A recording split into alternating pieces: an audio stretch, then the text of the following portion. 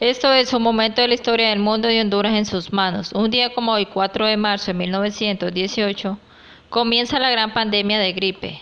Un día como hoy, en el año 1918, se observaba en Kansas, Estados Unidos, el primer caso de una de las pandemias más grandes de la historia humana, la gran pandemia de gripe, también conocida como gripe española. Fue producida por un brote de gripe del subtipo H1N1 y afectó a 500 millones de personas, de las cuales murieron entre 50 y 100 millones.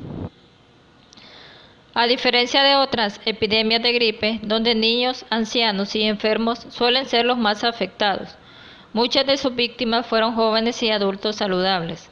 Recibió su nombre de gripe española por parte de los aliados de la Primera Guerra Mundial, ya que la pandemia recibió más atención en España que en el resto del mundo. Esto se debió a que el país no estaba participando de la guerra y por lo tanto la prensa no censuraba la información sobre la enfermedad. Se cree que la transmisión de la enfermedad fue, facilitada por la cantidad de viajes de los combatientes durante la guerra y que sus sistemas inmunológicos debilitados por la tensión de los combates y los ataques químicos aumentaban las posibilidades de contagiarse.